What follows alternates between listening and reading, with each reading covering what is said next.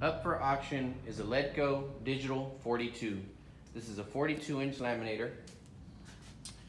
Um, we're gonna show you that if you can see this roller right here spinning, you can see that is working. We don't have any lamination. And you can also go reverse and it will reverse. Now we have our heat gauge here. You can see it says 81. Once we hit this top, it's gonna jump up. So you can see that's working. We're gonna do the same thing with the bottom roller, 81. It's gonna jump up 265. So you can see that it is working.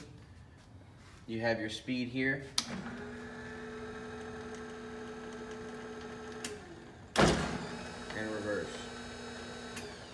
So you can see that the machine is working.